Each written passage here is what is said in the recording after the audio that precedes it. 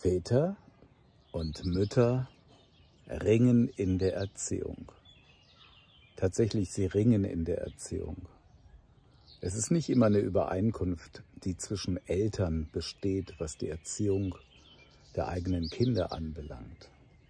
Oft ist es realistisch gesehen ein Ringen, das heißt eine Konflikthaftigkeit. Der Vater ist nicht der Auffassung wie die Mutter, die Mutter ist nicht der Auffassung wie der Vater. Es gibt also einen Dissens. Und der Dissens oder der Konflikt ist etwas ganz Natürliches in unserem Leben.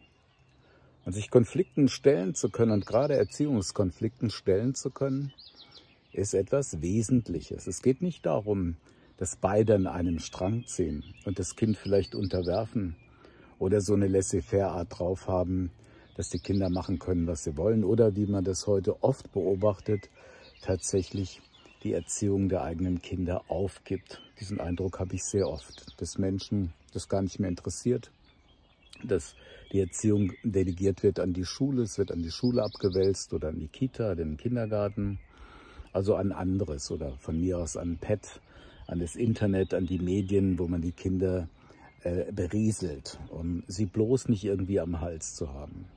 Und das ist natürlich überhaupt nicht gesund. Das ist äh, etwas sehr Schwieriges und da sind die Eltern einfach nicht anwesend. Das heißt, die Kinder müssen auch immer wieder mitbekommen, wie die Eltern um sie ringen. Da hat der Vater eine andere Auffassung, nicht immer, aber durchaus immer mal wieder als die Mutter.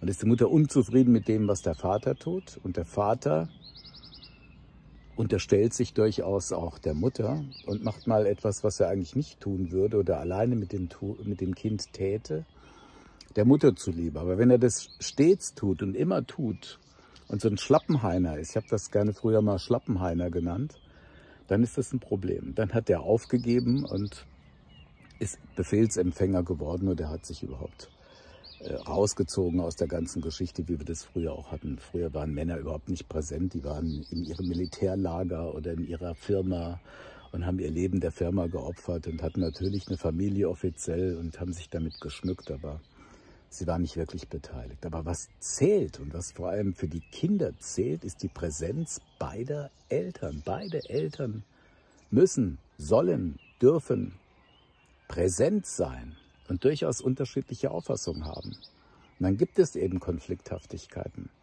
Aber in den Konflikthaftigkeiten gibt es dann immer wieder, und das ist das Natürliche und stark zu betonen, eine Kompromissbildung. Tatsächlich eine Kompromissbildung, die geschieht sodass man sich wiederfinden kann oder dass man etwas stehen lässt, dass man einfach einen Respekt hat vor dem, was der andere tut und man ist überhaupt nicht der Auffassung und es ist schwer, mit sowas umzugehen, das ist überhaupt nicht einfach. Aber dann findet man sich immer wieder und dann gibt es eine Diskussion und da gibt es einen Diskurs und die Kinder bekommen das alles mit und das ist wichtig, dass die Kinder das mitbekommen, weil sie merken, sie sind den Eltern wichtig und die Eltern haben unterschiedliche Auffassungen. Und sie dürfen diese unterschiedlichen Auffassungen haben. Ich meine, seien wir uns darüber im Klaren, wir leben in einer Demokratie, das möchte ich betonen. Ich betone das ganz oft hier in meinen Videos und Audios, dass wir in einer Gesellschaft, in einer Kultur leben, in dem wir Dinge aushandeln, in dem wir unsere Interessen vertreten und vertreten gesehen wollen und nicht etwas nur blind annehmen oder konsumieren, sondern wir stehen für uns ein.